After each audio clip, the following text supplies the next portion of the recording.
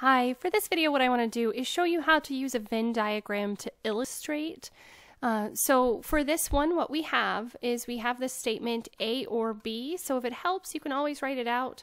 We're looking for A or B and remember that this is the complement. You might also see this um, written, so the CC could also be written in your textbook as C prime or it could be tilde C. So if you see either of those, it would mean the same thing.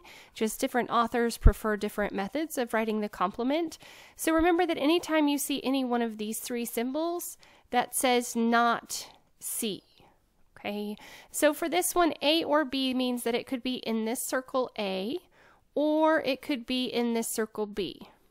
Okay, so anywhere in A or anywhere in B but we want to exclude C from this. So basically what we want to do is we want to exclude this part of it because that is C. We want to be on the outside of that. So what we have is anything in this section here,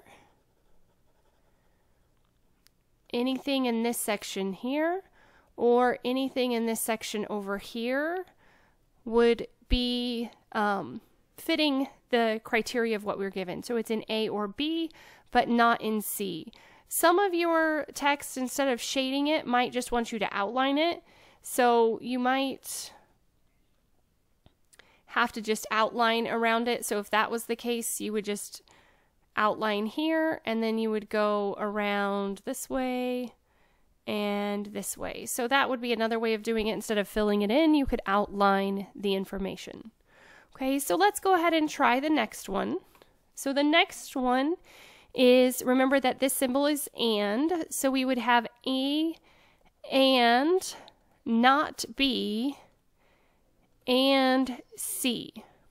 Okay, so we're looking first with circle A, but we don't want it to be in B. So that would leave everything outside of this area here. So we are eliminating circle B but we want it to be also in C. So we're looking for the overlap of A and C. So A and C overlap here, but we want to eliminate circle B. So this time we're only talking about this little section right here.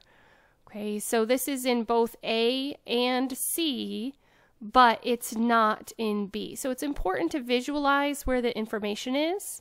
Again, your text may have you, instead of filling it in, just outline the area. So we could also just outline this area and say that this area here would contain A and C, but not B.